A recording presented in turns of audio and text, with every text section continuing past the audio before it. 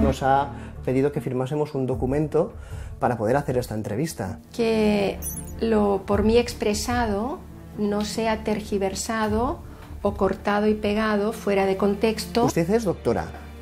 Soy médica especialista en medicina interna. ¿A su clínica llegan pacientes con cáncer? Sí, llegan muchos. Están tan mal que ya no les hacen nada. Pero no es oncóloga. No, no, yo soy médica internista, medicina interna. ¿Usted recomienda a sus pacientes, si es necesario, que hagan un tratamiento de quimioterapia? No, no puedo recomendar algo que para mí es antiético. Bueno, me sorprende que me diga esto teniendo en cuenta que actualmente el cáncer, gracias a la quimioterapia, se controla en un 60%. No tienes la información correcta. ¿Qué le recomienda usted a los pacientes que llegan con cáncer a su clínica? Si yo comprendo cómo se originó y puedo resolver el, el evento traumático que originó este, esta enfermedad, usted se va a curar con mi acompañamiento. Y dentro de este acompañamiento voy a agregar medio litro de agua de mar al día por vía oral.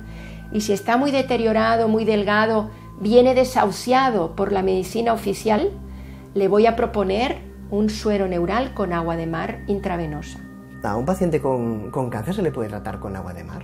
En el mar surgió la vida y al reintegrar el agua de mar a nuestro organismo, nuestras células empiezan a funcionar mejor y los órganos que estaban enfermos empiezan a mejorar. Mis pacientes toman un promedio de medio litro al día de agua del mar y yo no la uso para cualquier paciente, sino solo pacientes muy graves con cáncer, con insuficiencia renal. ¿Está jugando usted con la salud de personas que se aferran a usted para curarse de una enfermedad tan dura como el cáncer? Aquí en España yo no ejerzo, no juego a nada. No juego el juego de España.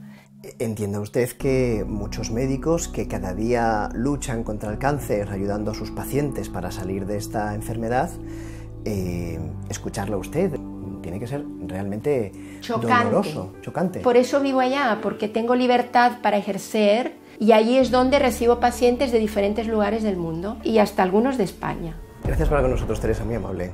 Gracias por aceptar mis palabras.